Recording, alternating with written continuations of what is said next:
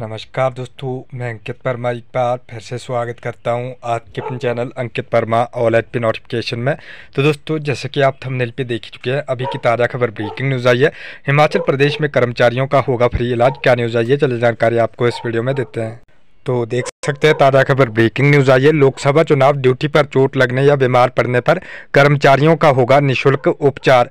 लोकसभा चुनाव में ड्यूटी देने वाले अधिकारियों और कर्मचारियों के स्वास्थ्य का पूरा ख्याल रखा जाएगा। ड्यूटी में तैनात केंद्र और राज्य सरकार के कर्मचारियों को कैशलेस कैशलेस उपचार की सुविधा उपलब्ध करवाई जाएगी। इलाज का पूरा खर्च चुनाव आयोग आयोग उठाएगा। लोकसभा और विधानसभा उपचुनाव के दौरान ड्यूटी में तैनात कई कर्मचारी कई बार चोटिल या फिर बीमार हो जाते हैं।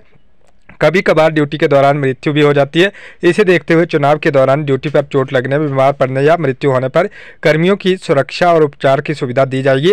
राज्य निर्वाचन अधिकारी ने अधिसूचना जारी कर दी है। मिलेगा कैशलेस उपचार। तो दोस्तों, ये ताज़ा खबर ब्रेकिंग न्यूज़। धन्यवाद। जय हिंद। जय भारत।